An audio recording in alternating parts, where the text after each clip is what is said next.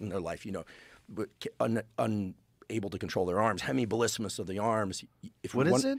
Hem, uh, Huntington's disease. It's a deterioration of the parts of the brain that control motor function.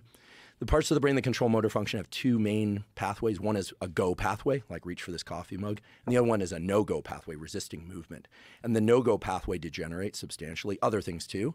And people with Huntington's chorea end up with these writhing ballistic movements, and oh, it's an inherited disease. So you know what gene? It's the Huntington gene. And if you can, if you know that your, for instance, parent has it, you can get tested for it. A lot of people don't want to get tested; they don't want the answer because it's late onset. So you can be normal a certain portion of your life and then get it. It's a tragic disease. But if you test positive for this gene, you know you're going to get Huntington's.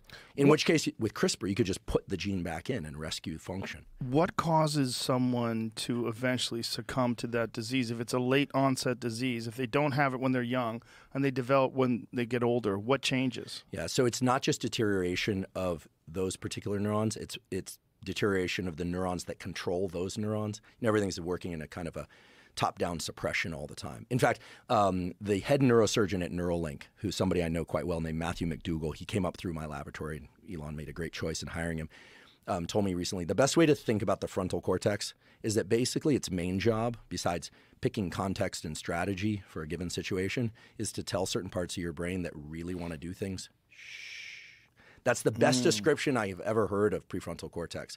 You know, it, it's what's keeping Jamie from doing things that he shouldn't right now, and me doing things that I shouldn't right now. And every time you have a crazy idea, like maybe I should jump off this bridge. Uh, Why would I think that? I'm not. That's a healthy operation of your brain saying, I want to because I'm kind of curious, but I don't want to, so I'm not going to. Right. With Huntington's, what happens is there's slow deterioration of those neurons, but there's a lot of deterioration of these neurons that control motor function. And eventually, what happens is the deeper neurons that control motor function start shutting down the autonomic functions like breathing, heart rate. And so eventually, people just succumb to some basic. Um, you know, uh, rec- we call them housekeeping functions. You know, so they'll they'll have to be on a respirator, and they they have to um, you know they have to use a catheter tube, and you know they have to defecate into a bag, and you know at some point they just become a, a, a deteriorated um, mess of neurons.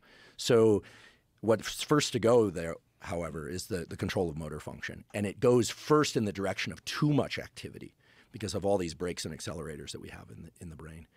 Um, so, in any case, CRISPR, gene manipulation of the sort that this guy did in this laboratory in China, again, I think an ethics com- committee needs to tell the world or decide for the world what people should be allowed to do and not do. But you can imagine for something like Huntington's, it would be tremendously advantageous. Like if you had a child who you knew was someday going to get Huntington's, you'd want to do a CRISPR mutation and put the healthy gene back. Is there anything that's been shown to slow down the progress of Huntington's? Uh, there, I'm not so versed. It's a little bit like MS, another neurodegenerative disease, multiple sclerosis, where certain things exacerbate it, like inflammation of any kind, um, and and those things can be uh, almost random in in some ways. Like uh, some people who have uh, MS will eat uh, salad dressing with mustard in it, have a huge inflammatory response, and have a flare up, blurry vision, and get worse, and then it returns to Mustard. Things like mustard, because Is mustard. inflammatory? Well, mustard mustard isn't necessarily whole body inflammatory, but it if it's spicy mustard, it binds to what's called the substance P receptor or the or the capsaicin receptor. We have receptors for anything that's kind of hot and spicy, um, and those are the same receptors that respond to hot liquid. Uh, heat and, and spicy, obviously, very very closely linked, and pain, all three of those very close. Whereas pain relief very closely related to menthol and cool not just the taste but the actual physical sensation of cool mm. so heat pain and inflammation kind of are c- cousins in this in this sense and cool menthol and lack of inflammation are also cousins in terms of receptors neural circuits this kind of thing so can spicy food cause inflammation? sure yeah Really? yeah but i think one of the